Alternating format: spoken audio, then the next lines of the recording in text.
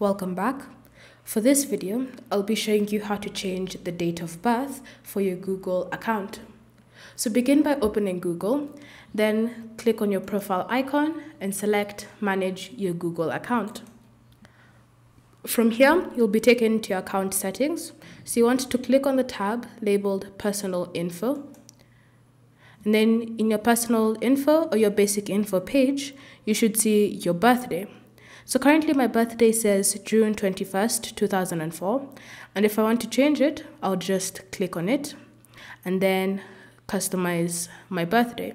So I can change the month, so I can choose January. I can change the day, so it can be the 12th. And the year, I can put it at 9, 1990.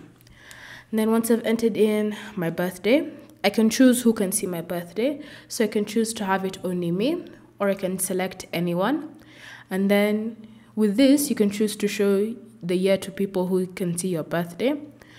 Then once you've chosen who can see your birthday, you can choose to let people know it's your birthday. So you can just click on the checkbox here to highlight your birthday. But this only works if you've selected anyone.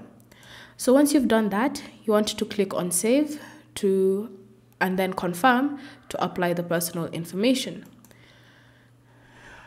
Then from here, you can see your birthday has been updated to the changes you've just made. Thank you for watching. If you have any questions or comments, leave them down below and we'll get back to you.